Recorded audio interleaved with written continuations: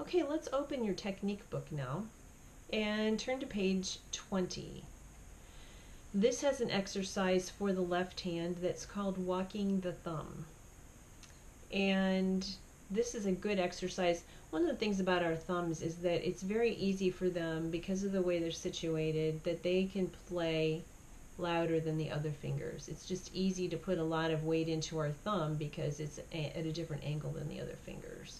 And so we have to be careful as piano players to make sure, first of all, that we're playing on our thumb in the correct position. And where that is, is you should be playing here on the part of your thumb by the fingernail. So you don't play down here by your joint, you don't play here, but you want to be, if you're playing right there by your fingernail, then you should be able to keep a nice rounded hand shape.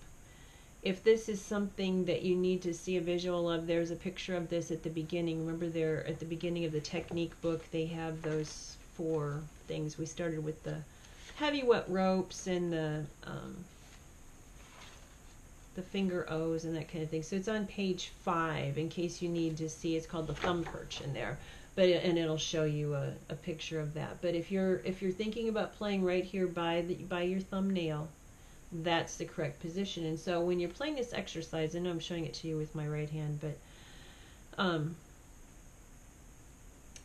the idea is to try not, try to make each of those notes sound equal. So you don't want the first one with the thumb to be sounding heavy,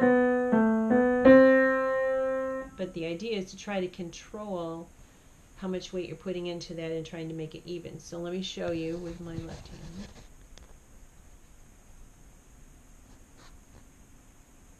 Let's see an angle that you can see the thumb perch. Oh, this is testing my camera skills. Okay, so here we go. And this is one of those pattern things.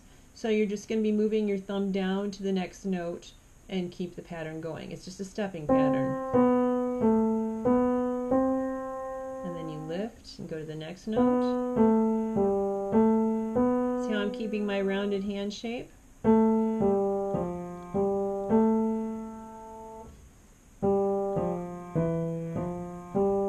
Forth and so on. It's one of those that you're going to keep going until you get to the the next C. But the idea is to have that beautiful rounded hand shape and playing on the correct position on your thumb. And after you practice it a little bit, you might want to ask your mom to come and check you and just see if your hand looks like it's, if your thumb is in the right place and your hand is staying nice and rounded. So that's in your technique book. And then I'd also like you to work on a song in your performance book. This is another one of my favorite ones in the performance, and it's called The Opposite Song. Again, I'd like you to write on the little lines what the names of the starting notes are. And I'll just tell you that this has got your music alphabet in it A, B, C, D, E, F, G.